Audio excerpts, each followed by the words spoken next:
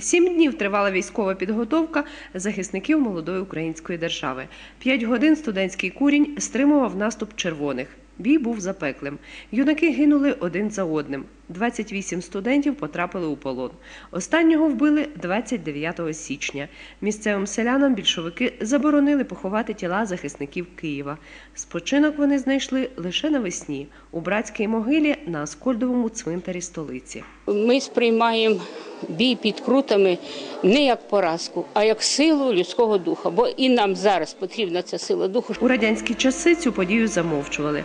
Дослідники називають її героїчною і водночас трагічною.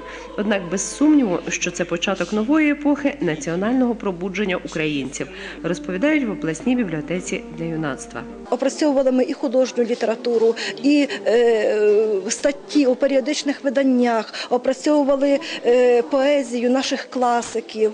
Під час вечора пам'яті у залі ніде яблуку впасти. Організатори стверджують, такий ажіотаж триває тиждень. Згадати про героїв Крут приходять як студенти, так і школярі.